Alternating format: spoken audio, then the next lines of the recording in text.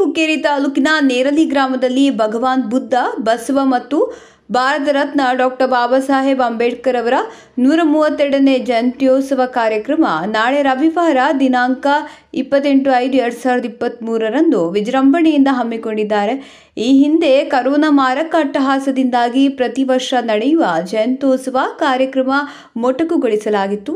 ಈ ವರ್ಷ ಮುಂದುವರಿಸಲಾಗಿದೆ. ರವಿವಾರ ನಡೆಯುವ ಕಾರ್ಯಕ್ರಮದಲ್ಲಿ ಇಡೀ ಗ್ರಾಮದ ತುಂಬೆಲ್ಲ ಫ್ಲೆಕ್ಸ್ಗಳಿಂದ ಸಿಂಗರಿಸಲಾಗಿದೆ.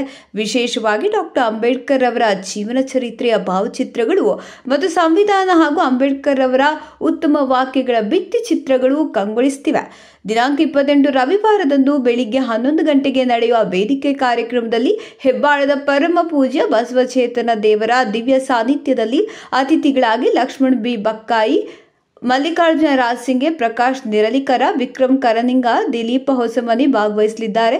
ಮಧ್ಯಾಹ್ನ ಎರಡು ಗಂಟೆಗೆ ಭಗವಾನ್ ಬುದ್ಧ, ಬಸವ ಮತ್ತು ಅಂಬೇಡ್ಕರ್ ಅವರ ಭಾವಚಿತ್ರಗಳ ದೂರಿ ಮೆರವಣಿಗೆ ಗ್ರಾಮದ ತುಂಬೆಲ್ಲ ನಡೆಯಲಿದೆ.